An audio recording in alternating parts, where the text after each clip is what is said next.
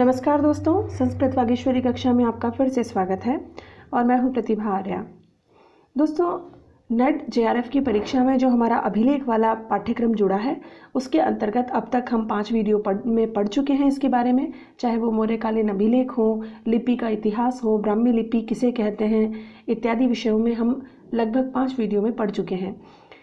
मौर्यकालीन अभिलेख पढ़ने के पश्चात और गुप्तकालीन और मौर्यकालीन अभिलेखों की तुलना करने के पश्चात अब हम अध्ययन करेंगे रुद्र दामन का। इससे पहले हमने आज ही सुबह गिरनार के अभिलेखों का अध्ययन किया था। अब हम रुद्र दामन का जो जूनागढ़ अभिलेख है, इसके विषय में अध्ययन करेंगे। दोस्तों रुद्र दामन का जो जूनागढ़ अभिलेख है, ये सामान्य ज्ञान की दृष्टि से भी आपके लिए महत्वपूर्ण है। लगभग सभी परीक्षाओं में ये पूछे जाते हैं, जहाँ भी इंडियन हिस्ट्री पूछी जाती है।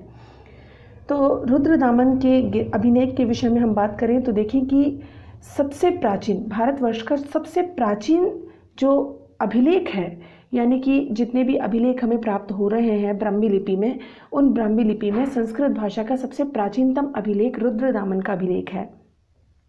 अब इसके अंतर्गत देखते हैं कि रुद्र दामन कौन है। दोस्तों, भारतवर्ष पर समय समय पर अनेक जातियों ने, अनेक लोगों ने आकर के हमारे ऊपर शासन किया है। यहाँ बहुत सारे प्रजातियाँ आई हैं, युद्ध इत्यादि हुए हैं। उन्होंने बहुत सारे भारत के इतिहास में परिवर्तन किए हैं। अब उन्हीं के अंतर्गत एक प्रकार की जाति है जिसे हम शक कहते हैं। यही शक वो हैं जिन्हें इतिहासकार सीथियन के नाम से कहते हैं। सीथियन। जब हम इतिहास पढ़ते हैं तो उसमें हम देखते हैं कि शक को सीथियन कहा जाता है। कई जगह ऐसा कहा जाता है कि जो आर्य हैं, ये शक सीथियन की संस्थानें हैं। लेकिन कुछ भारतीय मत जो हैं, वो ये मानते हैं कि जो आर्य हैं, राजपूत हैं, वो यहीं भारत के ही निवासी हैं। तो इस प्रकार शक जो जाति है, शक जो हैं ये एक विदेशी जाति है। इन्होंने अब उत्तर पश्चिम, यानी कि भारत का जो उत्तर पश्चिम है, देखिए, भारत के अंतर्गत जब कभी भी कोई आक्रमण हुआ है, वो सबसे ज़्यादा जो आक्रमण हुआ है, वो इस एरिया में हुआ है। ऐसा क्यों है? क्योंकि बाकी तीनों ओर से हमारी प्राकृतिक सीमाओं से आबद्ध हमारी सीमा है भारतवर्ष की। केवल एक ये जगह बचती है, जहाँ से कभी शक, कभी हूण, यूनानी और यहूदी जितने भी लोग हैं, यवन हैं, इन सभी लोगों ने इसी ही क्षेत्र में आकर के आक्रमण किया है। और ये बहुत ही महत्वपूर्ण क्षेत्र भी है। तो जो शक है, उन्होंने भी जो शक संवत सत्तर से लेकर के नब्बे तक ये जो समय रहा है, यदि हम इसमें ईसवी सन जोड़ते हैं, आपको पता है ईसवी सन जब जोड़ेंगे तो 78 इसमें प्लस कर देंगे। तो लगभग 130 से 150 ईस्वी तक का जो समय है, ये शक संवत का रहा है। संवत का शक प्रजाति का रहा है भारत के ऊपर, इनका शासन रहा है। तो इसी बीच में हम बहुत सारे राजाओं के विषय में पढ़ते हैं। तो ये जो शक जाति है, ये एक शक जाति भारत में शासन करने के लिए आई थी और सबसे पहले इन्होंने जो भारत के इस ओर के क्षेत्र हैं जितने भी, इस ओर के जितने भी क्षेत्र हैं ना यहाँ, चाहे वो पंजाब है, महाराष्ट्र है, या उज्जैन है, मथुरा है, यहाँ के जितने भी क्षेत्र हैं, यहाँ आकर के उन्होंने सबसे पहले अपना अधिकार स्थापित किया था। तो यहाँ आने के बाद उन्होंने बहुत सारे अपने शिक्षा, कला, संस्कृति के क्षेत्र में परिवर्तन किए। तो इन्हीं में एक राजा हुआ रुद्रदमन। यह रुद्रदमन शक राजा था। देखिए, शक शासन काल के अंतर्गत जो शासन व्यवस्था थी, वो पारसिक क्षत्र प्रणाली प्रणाली इसको कहते हैं, पारसिक पारसिक क्षत्रप प्रणाली। इसे कहते हैं। इसमें क्या होता है कि एक ही प्रांत में दो राजा होते हैं। एक प्रांत में दो राजा होते हैं। जो बड़ा राजा होता है, ये महाक्षत्रप, और जो छोटा राजा होता है, ये क्षत्रप। एक प्रांत में दो राजा, और ये दोनों राजा क्या होते थे? पिता पुत्र होते थे। तो सीधी सी बात है, महाक्षत्रप पिता होंगे, और क्षत्रप पुत्र होगा। तो जो शासन व्यवस्था थी प्रांतों की, वो ये पारसिक प्रणाली के द्वारा चलती थी। तो महाक्षत्रप पिता और क्षत्रप पुत्र या कोई भी उत्तराधिकारी जो होता था, वो होता था। तो इस प्रकार महाक्षत्रप और क्षत्रप के नाम से एक प्रांत में दो राजा राज करते थे। इनका जो शकों का मुख्य जो केंद्र था, वो उज्जैन, महाराष्ट्र और मथुरा थे। उज्जैन उस वक्त बहुत ही प्रसिद्ध एक नगर था। बहुत ही शकों का जो वंशज उज्जैन से उभरा, वो बहुत ही पावरफुल था, बहुत ही शक्तिशाली था। इसी के अंतर्गत एक व्यक्ति हुआ, इसका नाम था चष्टन चष्टन और इसी ने आगे शकों के चष्टन वंश का संस्थापन किया, यानी कि वह संस्थापक था चष्टन वंश का। तो जो चष्टन है, ये पहले क्षत्रप थे, यानी कि उज्जैन जो जगह है, इसमें पहले क्षत्रप, यानी कि इनके पिता के उत्तराधिकारी के रूप में कार्य करते थे। तो इस प्रकार से ये सबसे पहले क्षत्रप हुए, ये बहुत ही शक्तिशाली हुए। इन्होंने अपना एक वंश चलाया और उसके बाद चष्टन ने, ये जो चष्टन है ना, चष्टन, इसने लगभग 130 ईस्वी के लगभग शासन किया। अब उसके पश्चात इसका पुत्र होता है जयदमन। ये जो जय दमन है, ये कुछ ज़्यादा काम नहीं करता, कुछ ही समय में इसकी मृत्यु हो जाती है। इसलिए जो ये दादा है चष्टन, ये अपने पुत्र को क्षत्रप नियुक्त कर देता है। क्षत्रप कौन? छोटा राजा। महाक्षत्रप कौन बना हुआ था? चष्टन। तो इस प्रकार ये दादा और पोता मिल करके शासन करते हैं उज्जैन के पूरे क्षेत्र में। ठीक है? अब ये जो रुद्रदमन है, ये रुद्रदमन शक प्रजाति की शक जो जाति था, उसका सबसे शक्तिशाली राजा था। इसकी कीर्ति चहु ओर थी। बहुत अधिक इसने साम्राज्य का विस्तार किया, बहुत सामाजिक और सांस्कृतिक परिवर्तन किए, समाज के लिए बहुत ही बेहतर काम किए। तो इसलिए ये रुद्र दमन जो है, इसने अपनी उपलब्धियों के विषय में अभिलेख लिखवाए। और वही जो अभिलेख है दोस्तों, ये रुद्र दमन का अभिलेख कहलाता है। अब ये है कहाँ? रुद्र दमन का अभिलेख है जूनागढ़ में। जूनागढ़ कहाँ है? गिरनार, गुजरात में। अब ये ध्यान रखना है कि जो गिरनार है, इसमें दो अब तीन अभी राजाओं के अभिलेख हैं। एक अशोक का हम पढ़ चुके हैं, एक इस समय हम पढ़ रहे हैं रुद्र दमन का और एक तीसरा है समुद्रगुप्त का। ठीक है? लेकिन जो जूनागढ़ अभिलेख के नाम से प्रसिद्ध है, वो रुद्र दामन का है, अशोक का बिल्कुल नहीं है। तो ये डिफरेंस आप बिल्कुल ध्यान रखिए कि जूनागढ़ का जो अभिलेख है, ये रुद्र दामन का है। और ये गिरनार गुजरात के अंतर्गत ही आता है। ठीक है? अब देखिए, ये जो अभिलेख है, इस अभिलेख की लिपि कौन सी है? ब्राह्मी। जबकि भाषा कौन सी है? संस्कृत। यानी कि विदेशी प्रजाति जब भारत में आई थी राज करने के लिए तो उन्होंने भी कौन सी भाषा और लिपि को अपनाया? भारतीय भाषा, संस्कृत को और ब्राह्मी लिपि को उन्होंने अपनाया।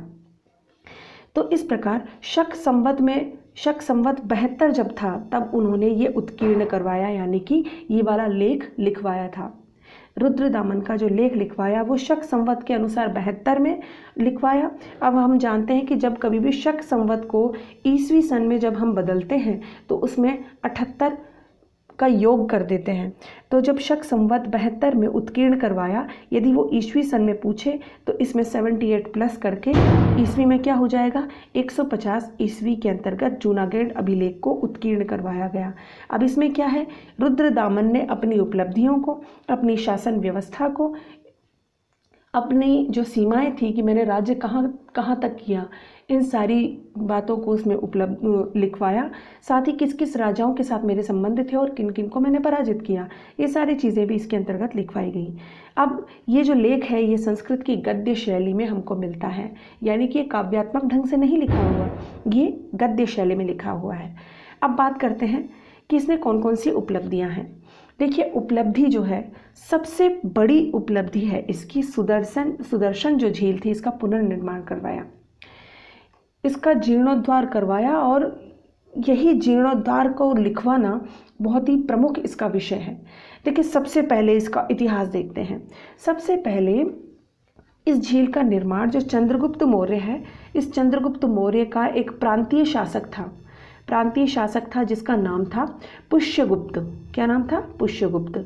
यानी कि चंद्रगुप्त मौर्य के शासन के एक प्रांत का एक प्रमुख था जिसका नाम पुष्यगुप्त था। इस प्रदेश में बाँध बनवाकर सिंचाई करवाया करता था तो उसने इस झील का निर्माण करवाया, ठीक है? लेकिन फिर जब अशोक के राज्यकाल में यूनानी शासक आए, यूनानी शासक का नाम था तुषास्य। इस तुषास्य ने क्या किया? ये जो झील बनी हुई थी ना, इस झील से बहुत सारी नहरें निकलवा दी। ये नहरें किसने निकलवाई? यूनानी शासक तुषास्य ने। अब रुद्रदामन का समय आया। तो रुद्रदामन का समय आया तो एक समय कौन सा दिन आया? एक दिन आया। कौन सा दिन? उस दिन का नाम है मार्गशीर्ष कृष्ण पक्ष की प्रतिपदा। और ये प्रतिपदा लगभग इकहत्तर, बहत्तर जो शक संवत बहत्तर के अंतर्गत इकहत्तर बहत्तर के अंतर्गत एक ऐसा दिन आया जो बहुत ही बवंडर लेकर आया और उसके कारण जो उसका बाँध बना हुआ था झील का इस झील का चारों तरफ़ से ये बाँध टूट जाता है और इस झील का जो पानी है पीने योग्य पानी है वो बिखर जाता है चारों ओर और, और ये जो ज़मीन है पूरी तरह से मरुभूमि जैसी बन जाती है। अब प्रजा के हित में सुविधाओं के लिए वो पुनर्निर्माण करवाना आवश्यक हो गया था। अब वो दरारें इतनी बड़ी बड़ी थी कि जितने भी जो वैश्य लोग थे या जो मंत्री थे, इसको, इसमें कोई इंटरेस्ट ही नहीं ले रहा था कि इसमें हम कब तक काम करेंगे। जब तक हम इसमें काम करेंगे, तब तक हमारी उम्र पूरी हो जाएगी। बहुत ही बड़ी ये झील थी उस वक्त और पीने का बहुत ही उत्तम स्रोत उस समय का हुआ करता था। तो इस प्रकार सब मंत्रियों ने जब हाथ खड़े कर दिए, तब रुद्रदामन रुद्रदामन ने अपना एक अमात्य था। उस अमात्य का नाम क्या था? सुविशाख। ये उस समय का बहुत ही प्रमुख अमात्य था, सुविशाख। इस सुविशाख की निगरानी में देख रेख में, उसने प्रजा के अनुग्रह के लिए अपने स्वयं के कोष से धन दान किया और दान करके उस झील को बाँध पुनर्निर्माण करवाया और बहुत ही जल्दी ही ये बाँध अच्छे से बन गया और पिछली बार झील जितनी थी, उससे तीन गुना अधिक विस्तार करके इस झील को बनाया गया। और इसीलिए ये जब देखने में बहुत ही सुंदर लगने लगी तो इस झील का नाम क्या रख दिया? सुदर्शन झील। तो इस प्रकार ये सुदर्शन झील जो है, ये इसका इतिहास था और रुद्र दमन की इसमें भूमिका क्या रही? कि इसने व्यक्तिगत कोष दान में दे करके जन सहयोग के लिए, जनता के लिए इसने झील का जो निर्माण है, उसको तीन गुना अधिक करके बनवाया। ये जो 150 ईस्वी के लगभग ये कार्य उसने करवाया था। अब देखिए, ये इस, इसकी झील की उपलब्धियों के अलावा ये जो रुद्र दमन का अभिलेख है, इसमें उसके साम्राज्य विस्तार का भी है कि कौन कौन सी सीमाओं तक इसने राज्य किया था, कहाँ से प्रवेश करना शुरू किया और कहाँ तक उसको राज्य मिला था और उसने बढ़ाया कितना। इसके बाद ये जो रुद्र दमन है, ये बहुत ही प्रतापी राजा था। इसके व्यक्तित्व के ऊपर भी इसमें काफ़ी लिखा हुआ है। एक तो बहुत ही उच्च नैतिक गुणों वाला ये व्यक्ति था। युद्ध के अतिरिक्त अपने जीवन में आजीवन किसी की किसी का हत्या नहीं करूँगा, किसी की वध, किसी का वध नहीं करूँगा, ऐसी प्रतिज्ञा की थी इसने और इस प्रतिज्ञा को सत्य करके दिखाया, ये बहुत ही बड़ी बात थी। और साथ में शरणागत की रक्षा करना, अपनी प्रजा को डाकू, जंगली जानवर, समस्त आदि व्याधियों से भयमुक्त करना, न्याय करना नियम पूर्वक दैनिक दिनचर्या का पालन करना, वीर और कुशल योद्धा की भांति अपने साम्राज्य को बचाए रखना, ये सारे इसमें नैतिक गुण थे। तो इस प्रकार का ये जो वीर और शूरवीर प्रतापी राजा था। इस बारे में बहुत लिखा गया है कि बहुत ही मनमोहक था। उत्तम लक्षणों से युक्त था और सभी प्रकार के जो गुण थे, उसमें सानुपातिक संयोग था, यानी कि सब अपने अपने अनुपात में बिल्कुल सही तरीके से थे उसमें। तो इस प्रकार, अब देखिए द्वे राज्य शासन किया, यानी कि ये जो दादा पोता है, इन दोनों ने मिलकर के द्वे राज्य यानी कि एक राज्य में दो राजाओं का जब शासन होता है, उसे द्वे राज्य शासन कहते हैं। तो दादा और पोता, जबकि इनके पिताजी की मृत्यु हो चुकी थी तो चष्टन और रुद्रदमन, इन दोनों ने मिलकर के शासन किया था। अब देखिए एक जो रुद्र दमन का अभिलेख है, इसमें ग्यारहवीं पंक्ति में एक बहुत ये लेख लिखा हुआ है। ये क्या कहते हैं? कि जनपदानाम जनपदानाम स्ववीर्यजितानाम अनुरक्त सर्व प्रकृतीनाम पूर्वा, पूर्वापकारा वनत्यु पनिवृदानर्थ सुराष्ट्र स्व कुकुर प्रांत निषादानीनाम समग्राणाम तत्प्रभावाद्य काम विषयाणाम पतिनाम सर्वक्षत्रा विषकृत तो इस प्रकार से ये उस समय की संस्कृत में कुछ थोड़ा बहुत अंतर था, क्योंकि ये संस्कृत भाषा में लिखी हुई है, और लिपि कौन सी थी इसकी? ब्राह्मी।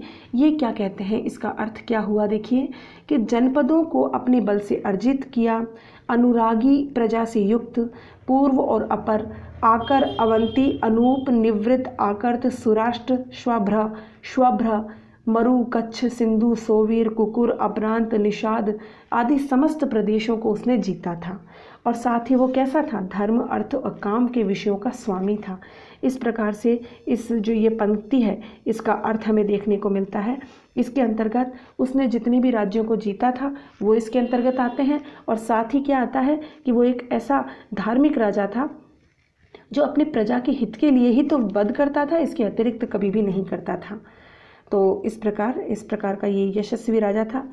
इसके अंतर्गत उन्होंने एक बात और बताई है कि उन्होंने योद्धेय, यानी कि वीर उपाधि के कारण इसने क्या किया? एक तो योद्धे नाम के बल को उखाड़ा, साथ ही एक सात करणी नाम का एक बहुत ही प्रसिद्ध राजा हुआ करता था, उसे भी इसने पराजित किया। इस प्रकार का हमें उल्लेख देखने को मिलता है। अब देखते हैं। इसके जो पहली लाइन आती है इस अभिलेख की। उसको देखिए, वो क्या कहते हैं कि सिद्धम इदम तड़ागम सुदर्शनम गिरी नगराद कोपलम विस्तारा यो यो मोय मोय दृढ़ निसंधिबद्ध दृढ़ सर्वपालकी त्वा पर्वतप्पा ये क्या कहते हैं?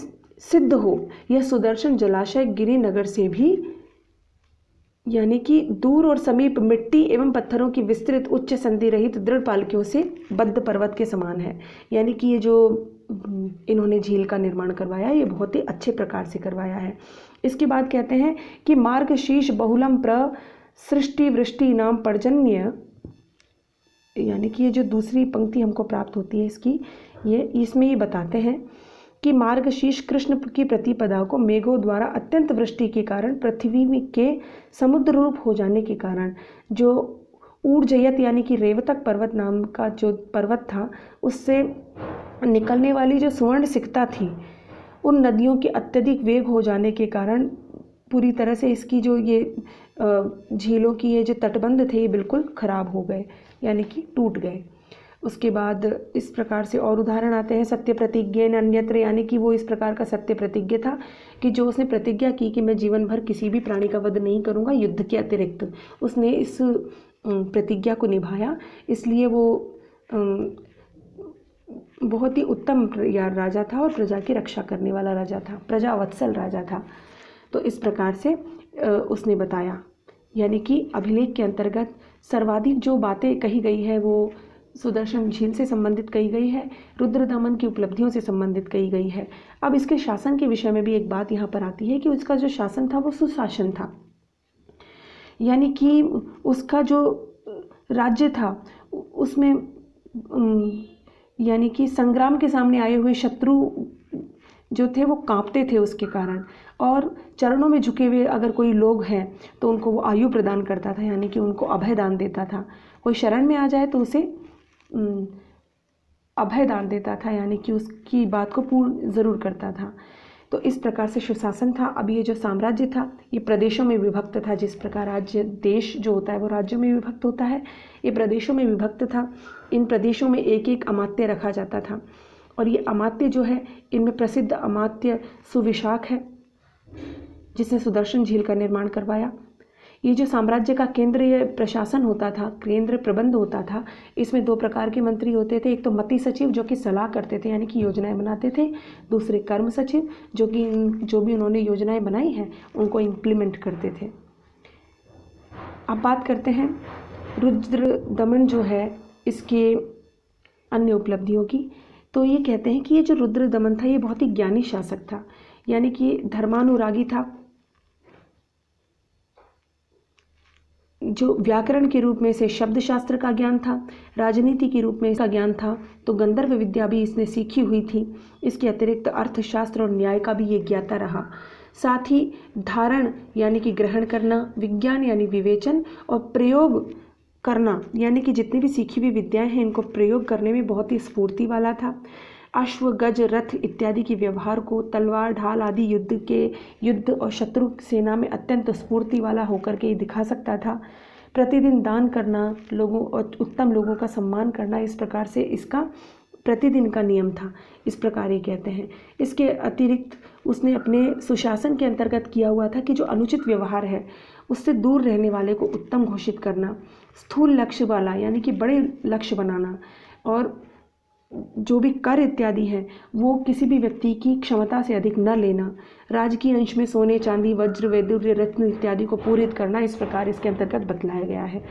तो मुख्य रूप से इसके अंतर्गत अंत में एक लाइन कही गई कि अपने शासन को प्रतिष्ठित करते हुए, स्वामी के धर्म, यश, कीर्ति का विस्तार करते हुए इस कार्य को संपन्न किया। यानी कि कौन सा कार्य? जो झील है, उसके पुनर्निर्माण का कार्य तो मुख्य दो बातें हैं इसमें, रुद्र दमन के समस्त युद्ध और विजित प्रदेश प्रदेश, यानी कि साम्राज्य के विस्तार को, दूसरी चीज़ इसने अपने सुशासन की व्यवस्था को, और प्रमुख चीज़ कि सुदर्शन झील का पुनर्निर्माण किस किस प्रकार से करवाया, इन बातों को लिखवाना इस अभिलेख का मुख्य उद्देश्य रहा। तो इस प्रकार से ये कुछ इसकी प्रमुख बातें थी जो मैंने आपके साथ शेयर की। ये आपसे सीधे सीधे इस रूप में भी पूछी जा सकती हैं। अब आपको रुद्र दमन दिखा देती हूँ। ये है रुद्र दमन जो कि ब्रिटिश म्यूज़ियम में इस वक्त रखा हुआ है। आप इस रुद्र दमन शासक को देख सकते हैं। रुद्र दमन अभिलेख के अंतर्गत इसी के गुणों का बखान किया गया है, इसी के कार्यों की उपलब्धि बताई गई है। तो इस प्रकार दोस्तों, आज इस वीडियो के अंतर्गत हमने अभिलेखों को लगभग पूर्ण समाप्ति की ओर है। आज इन अभिलेखों को हमने पूर्ण कर लिया है। आगे अन्य चर्चाएँ आगे के वीडियोस में जारी रहेंगी। आप बागेश्वरी चैनल पर बने रहिए। आज का हमारा वीडियो देखने के लिए आपका बहुत धन्यवाद। उम्मीद है ये वीडियो आपके लिए बहुत ही उपयोगी रहेगा। अगर आपको ये उपयोगी लगता है तो इसे शेयर ज़रूर कीजिए। आज के लिए इतना ही। धन्यवाद।